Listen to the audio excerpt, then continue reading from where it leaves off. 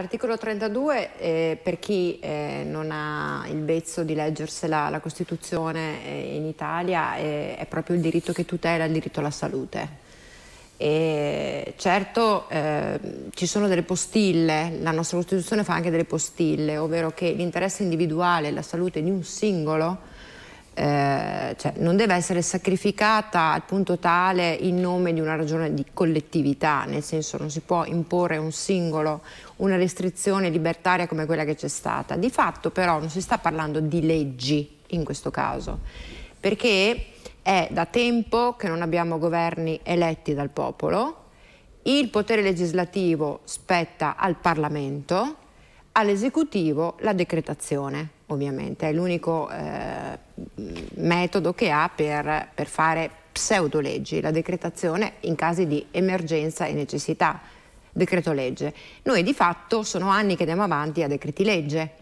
Se noi guardiamo bene, governi che non sono stati eletti dal popolo, quindi quasi delegittimati, visto che la nostra Costituzione, come è stata citata dalla signora poc'anzi, fonda appunto eh, innanzitutto sul lavoro e qui di lavoro ne scarseggia parecchio e tanta gente è stata privata dell'esercizio del proprio lavoro a causa del Covid, ma dà il potere al popolo. E con questa decretazione d'urgenza, se noi guardiamo bene, eh, sarebbero tutti provvedimenti da disattendere, perché eh, la legittimità io sinceramente fatico a vederla.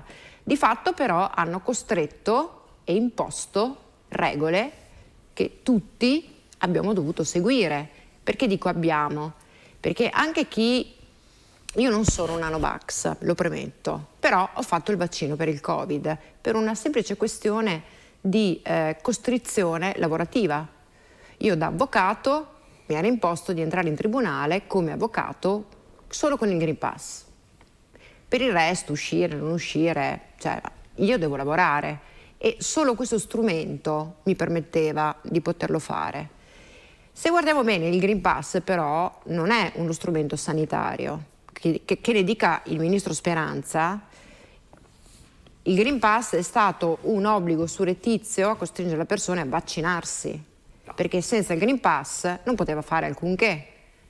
La gente, gli stessi medici non potevano svolgere. Io ho una cliente che svolgeva eh, medicina d'emergenza in pronto soccorso ed è stata sospesa senza stipendio. Poliziotti, forze dell'ordine, sospesi senza stipendio. Lo stesso poliziotto che commette un reato nell'esercizio delle sue funzioni viene sospeso dal suo ruolo con metà stipendio. Quindi qui c'è qualcosa che non va, nel senso.